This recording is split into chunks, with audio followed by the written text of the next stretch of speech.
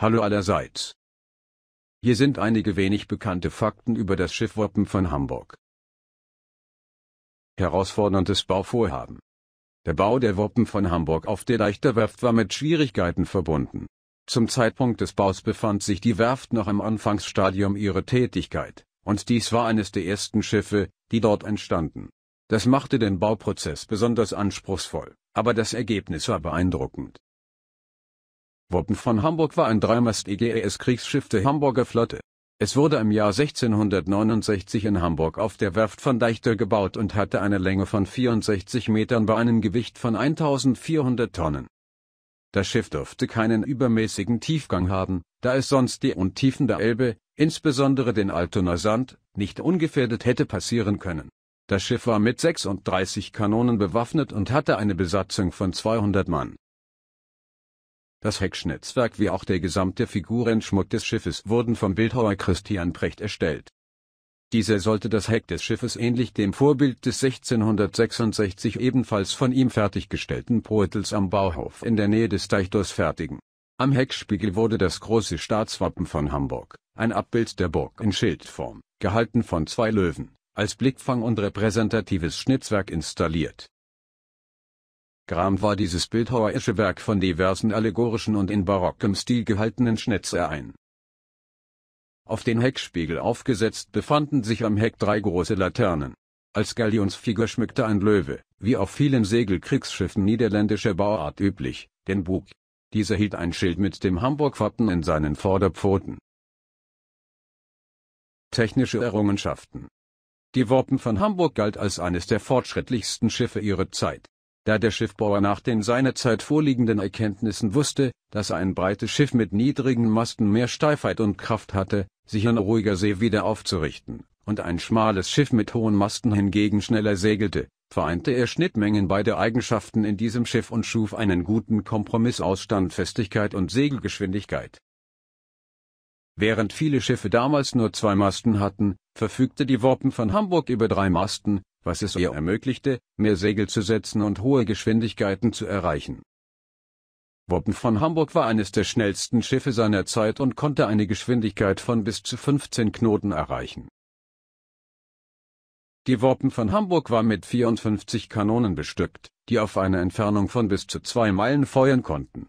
Die schwereren Kaliber auf dem unteren Geschützdeck aufgestellt waren das Schiff besaß mehr Stückpforten als Geschütze, so dass man die Bewaffnung sowie eine mögliche Zuladung flexibler handhaben konnte. Ungewöhnliche Geschosse Während ihrer Reisen verwendete die Wappen von Hamburg ungewöhnliche Geschosse für ihre Kanonen.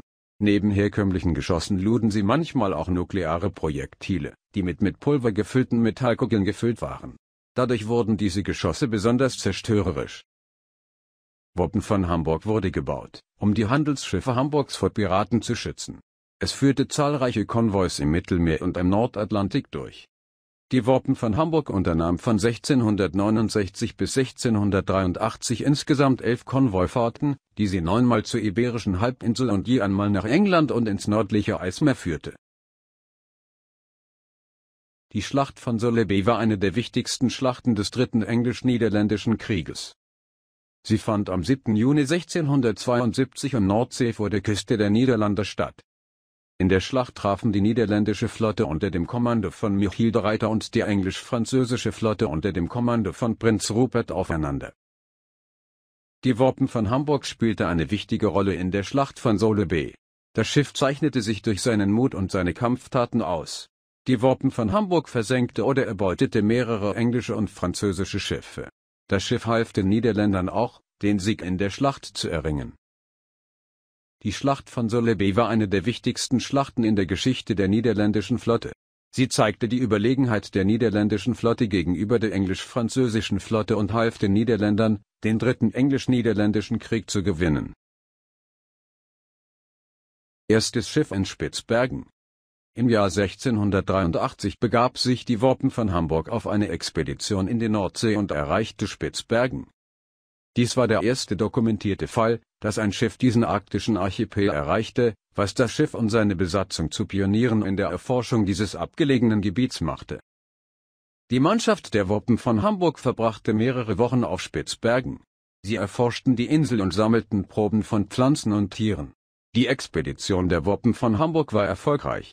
Das Schiff erreichte Spitzbergen, sammelte wertvolle Informationen über die nördlichen Meere und ebnete eine neue Handelsroute.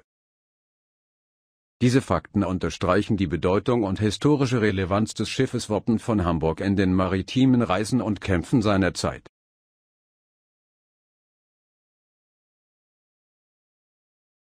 Hier sind die komischen und amüsanten Fakten aus der Geschichte des Schiffes Woppen von Hamburg von 1669 und seinen Reisen.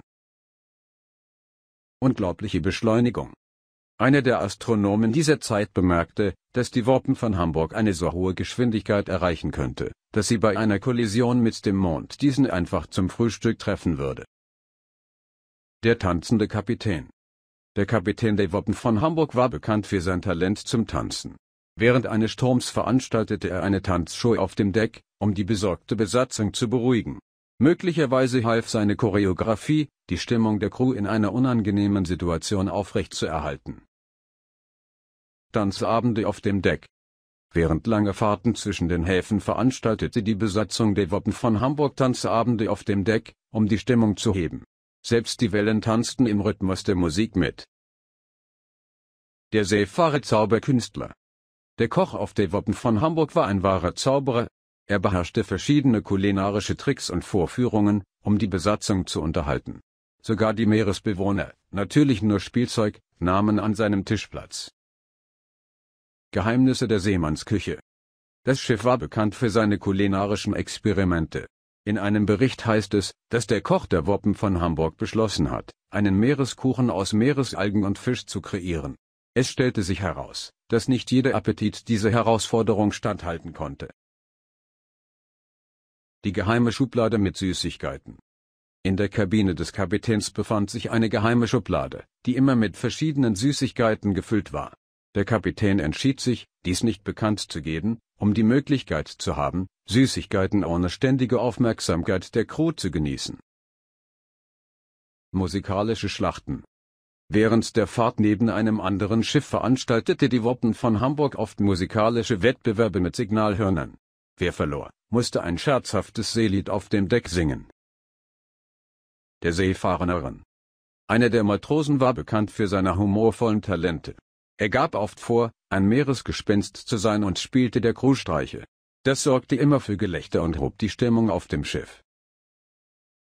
Seemannsyoga-Stunden Während langer Seereisen veranstalteten die Mitglieder der Besatzung der Woppen von Hamburg morgendliche Yoga-Sessions auf dem Deck. Der Versuch, eine Kopfstandpose auf dem schwankenden Deck auszuführen, sorgte für ein Zücken und Gelächter auf den benachbarten Schiffen. Der modische Trend an Bord Die Woppen von Hamburg wurde zum ersten Schiff, das den neuen Modetrend maritimer Schick einführte. Die Besatzung trug Badehosen und Seestiefel, selbst wenn sie an Land waren, um zu zeigen, dass Stil unabhängig vom Standort wichtig ist. Ich hoffe, diese komischen Aspekte fügen der Geschichte des Schiffes Woppen von Hamburg etwas Humor und Unterhaltung hinzu und machen das Lernen über dieses Schiff noch interessanter.